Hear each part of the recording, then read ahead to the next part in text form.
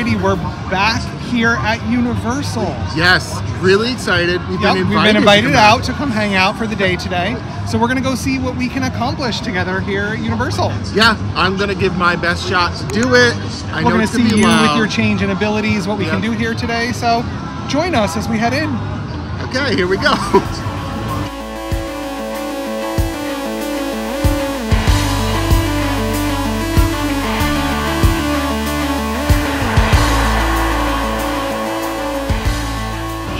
Alrighty, we flipped a coin and we are starting our day at Universal Studios. and it's loud. It's very loud here in City Walk for Ed. It's not too busy out here, but it is loud. Ah. And we're gonna see how Ed fares today.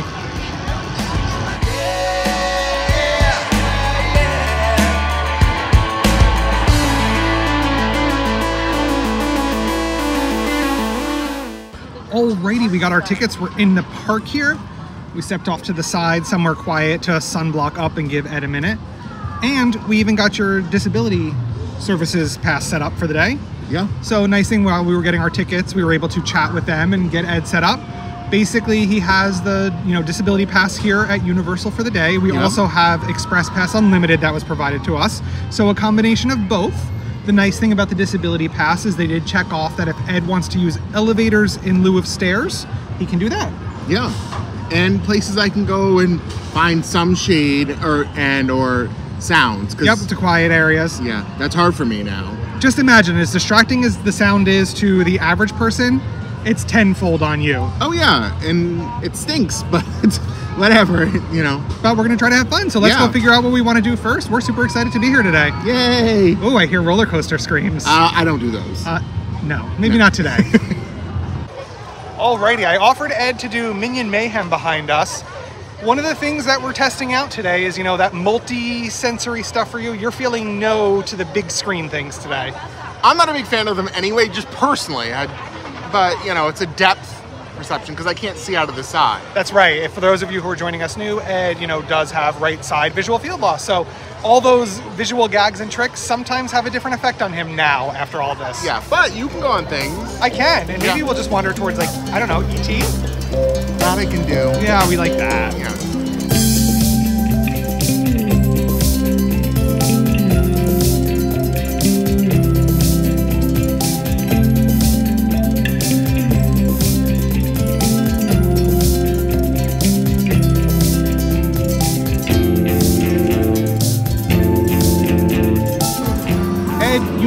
Turn. We ended up in Hollywood. I've been there. We have, that's true. But we're gonna go check out the tribute store. That's always a fun adventure to head in there. Who are we giving a tribute to? I don't know. We got to go to the store to find out.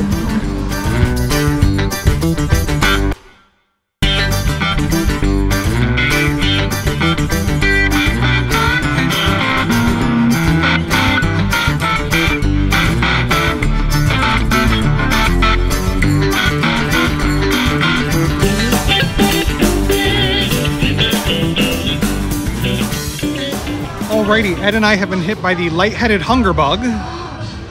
Is it cute? It, I mean, I, it might be. I am. But in any case, so we're gonna head over. We just did a mobile order from Krusty Burger, and we're gonna go get our lunch to eat, and then come back and visit with ET. I can't see myself. There I am. Alrighty.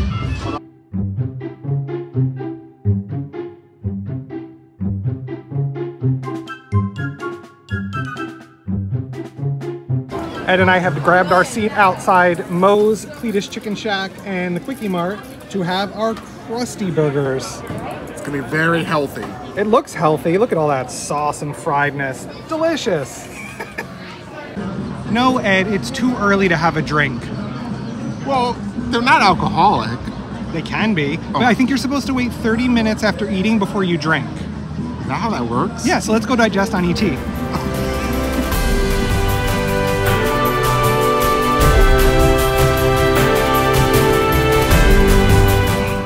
We're deep in the forest. We gotta go find our bicycle to go help ET save his planet. Oh. Will you help ET? I will certainly try. All I'll do my best. ET's in trouble. I do love ET.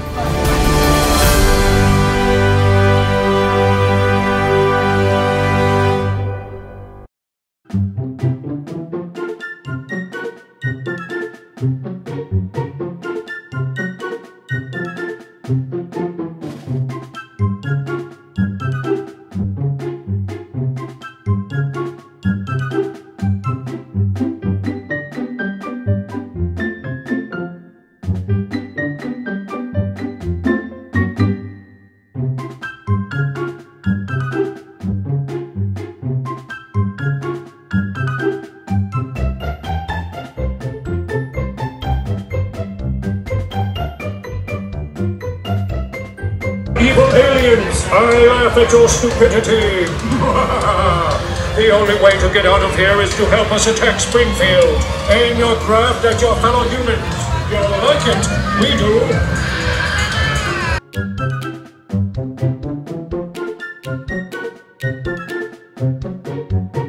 Prisoners, don't you feel foolish? the only way to earn your freedom is to help us attack Springfield. Aim your craft at your friends Yeah. and neighbors. You know you want to.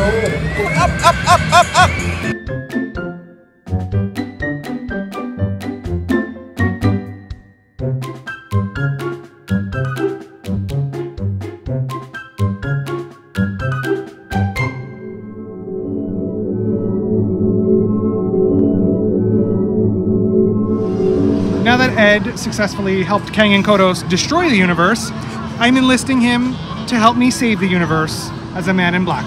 Oh, that's a good idea. So now that we helped the aliens, let's go shoot them. Ugh.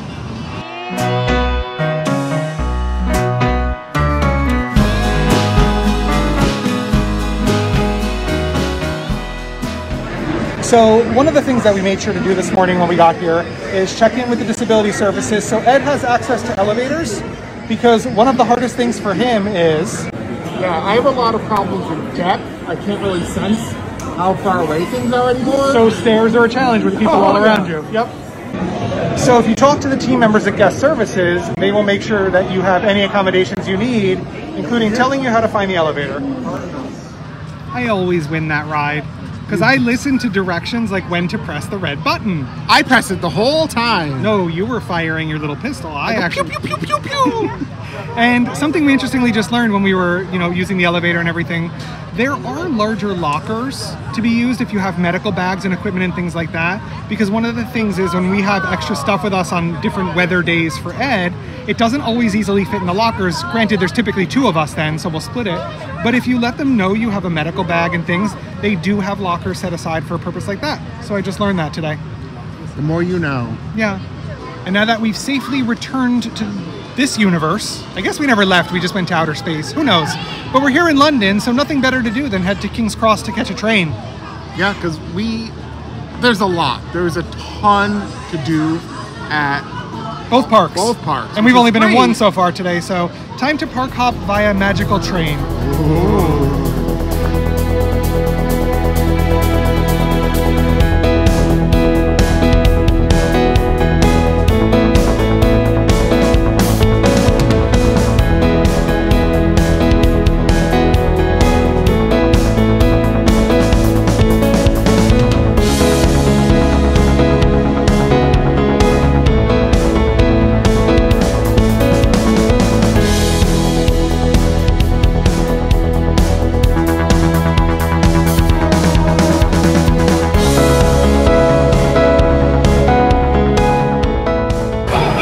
magically like that, from London to Hogsmeade.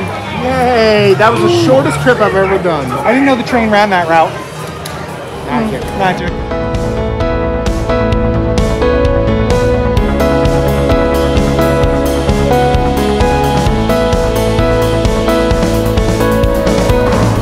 Well, that is something new that I might have to go check out. Oh, yes, thanks. indeed. Oh, yes. No thanks. No, it's closed. It's closed.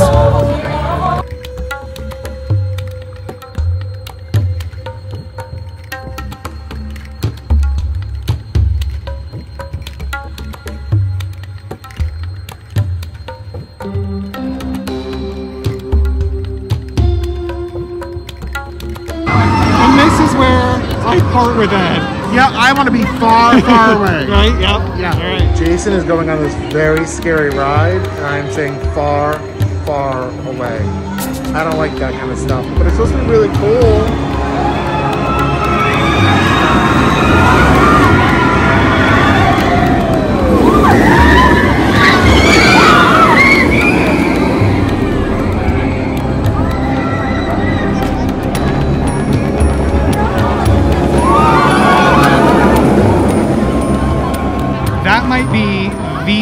Best roller coaster I can think of in existence right now.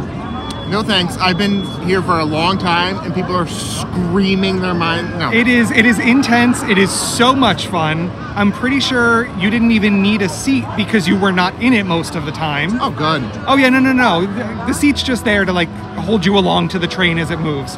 That was unbelievable, and the storyline as to why the roller coasters here is great. So next time you're gonna have to come with me just to the lockers, so you can at least see what what the reason is that it's here. Yeah, that's gonna happen. It's smart. I think that's gonna do it for our day here at Universal. Yeah. That was a I'm- fun day. Your stamina running out after a couple of hours. Well, it's a lot from zero to nothing, but I really will say thank you because I know what this means for you. Oh yeah, and a huge thank you to Universal for having us out today and for accommodating us with disability requests and helping Yeah. us along the way. It has been an amazing day of team member experiences, getting to ride some new rides like Velocicoaster, and getting to ease back into the world here in Orlando. Yeah, I know. You're so happy. Look at the smile on it. Because I'm watching Velocicoaster behind us and listening to Hulk. it makes me happy. So Yeah. that was our vacation day for today. Back to the real world. But again, huge thank you, Universal Orlando. It was a great day out here. Thank you so much. Thank you.